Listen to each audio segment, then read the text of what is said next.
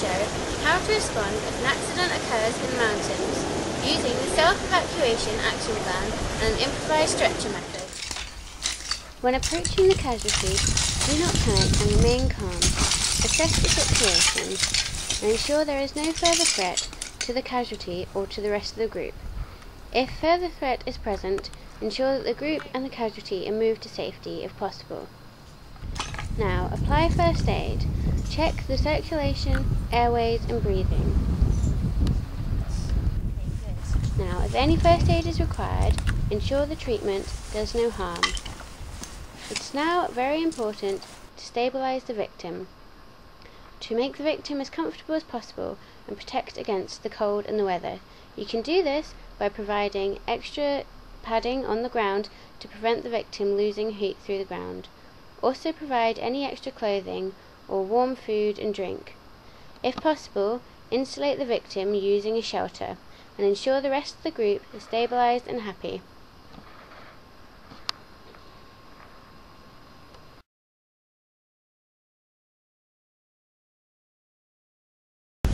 Once the casualty is stabilised and the group is happy and reassured, you must consider making an action plan.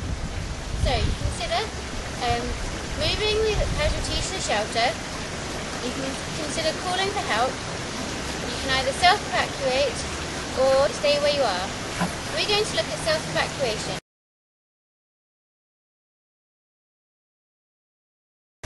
When considering using a stretcher, you should assess the casualty's injuries first.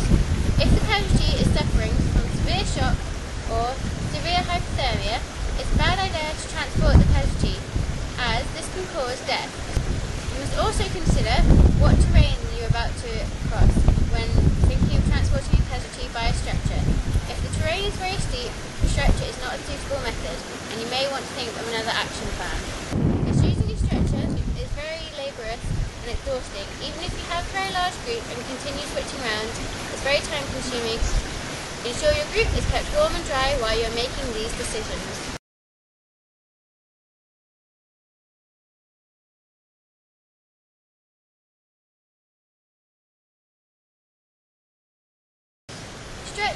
Improvised using walking equipment that you carry with you, using rucksacks, bags, tent poles, clothes, and strong poles. You can thread strong poles or tent poles through a bin bag to form a stretcher.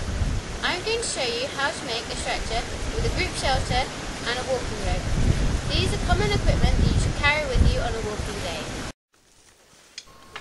When making the group shelter, you can use stones and place the stone in each corner to make handles. You would use the group stretcher method as it's very easy to use and it is easy to carry.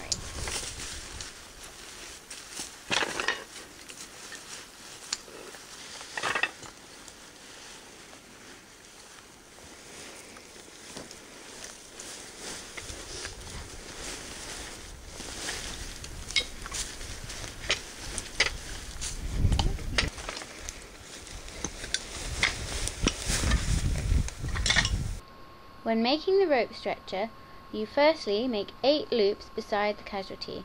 The loops must be the same width as the casualty. These loops can be adjusted. Secondly, you must make use a clove hitch. Make two loops, one with the rope coming out in the front and one with the rope coming out back.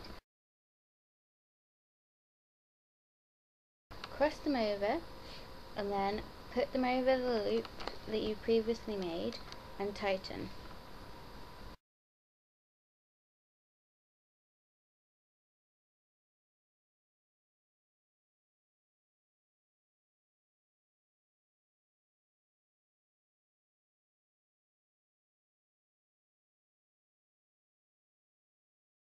The benefits of a rope stretcher are it provides more support than a group shelter stretcher to a casualty, so if the casualty's injuries are more severe, I would suggest using the rope stretcher. Okay, so now you thread the rope, the loose rope, through the coils, and once it's all through the coils, you do a quick stop and up, tie it off at the end.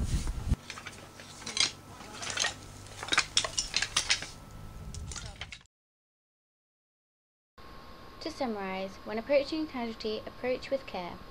Stabilise and reassure the rest of the group. Now you have stretcher options. Use the group shelter, using stones in the corners to provide handles, and using the rope shelter. Firstly, make 8 loops, the width and length of the casualty, and then use clove hitch to join the loops together. Then thread the excess rope round and finish with a stopper knot.